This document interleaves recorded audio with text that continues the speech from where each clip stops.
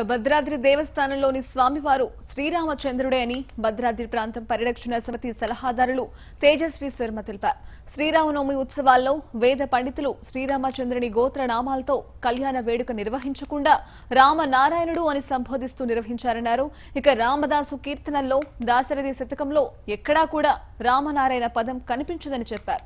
ఎదుర్కోలు కళ్యాణం పట్టాభిషేకం వేడుకల్లో రామచంద్ర స్వామి పేరును రామనారాయణుడు అని మార్చవలసిన అవసరం ఏముందని ఆయన ప్రశ్నించారు. శంఖచక్ర ధనుర్భానములు కలిగి సీతాదేవితో లక్ష్మణ సమేతంగా భద్రుడికి సాక్షాత్కరించాడు. అలా సాక్షాత్కరించినటువంటి వాడు రఘుత్తముడు. అంటే రఘువంశంలో జన్మించినటువంటి శ్రీరామచంద్రుడు అని చెప్పని క్షేత్రమహత్యం చాలా స్పష్టంగా చెప్తోంది.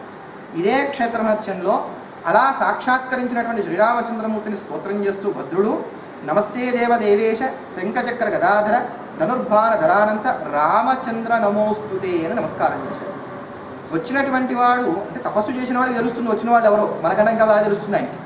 ఆ వచ్చినటువంటి చెప్పేటప్పుడు కావచ్చు ఇతరత్ర సందర్భాలు చెప్పేటప్పుడు కావచ్చు కాక ముఖ్యంగా వీళ్ళు ఏం చెప్తున్నారు అని అంటే కనుక ఇక్కడ ఏం చేయడానికి ముందుగా భద్రుడు తపస్సు చేసినప్పుడు ఆ పాటికి రామావతారం అయిపోయింది గనక నారాయణుడిగానే స్వామి ప్రత్యక్షమైతే నాకు ఈ రా నారాయణ రూపం వద్దు రామరూపంలో నువ్వు కనబడని చెప్పని భద్రుడు అడగ్గా అప్పుడు మళ్ళీ తిరిగి ఆయన రామ రూపంలో సాక్షాత్కరించాడని అలా నారాయణుడుగా రాముడుగా వచ్చాడు కనుక ఈయన రామనారాయణుడని దీన్ని మార్చి చెప్తున్నారు.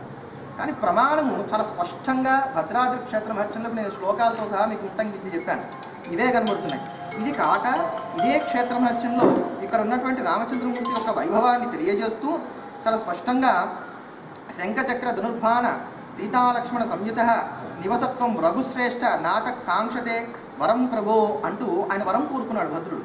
నీవు సాక్షాత్తు శంఖ చక్ర ధనుర్భాణములను ధరించినటువంటి వాడవై సీతాలక్ష్మణ సమేతంగా ఓ రఘుశ్రేష్ఠ రఘువంశంలో శ్రేష్ఠుడమైనటువంటి వాడ నా మూర్ధన్యమైనవై నా శిరస్సున నీవు ఇక్కడ నెలకొనాలని ఆయన వరం కోరుకున్నాడు.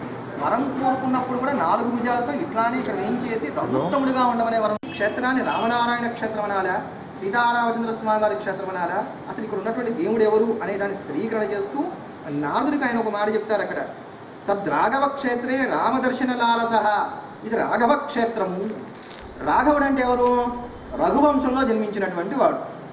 మరి రఘువంశంలో జన్మించినటువంటి వాడు రామచంద్రమూర్తి అనేది నిర్వివాదమైనటువంటి అంశము కదా. కనుక ఇక్కడ ఉన్నటువంటి వేం చేసినటువంటి ప్రభు? సీతారామచంద్ర స్వామి వారే కానీ రామనారాయణుడు కాదని చెప్పని భద్రాచల క్షేత్రం వచ్చాం చాలా స్పష్టంగా మనందరికీ కూడా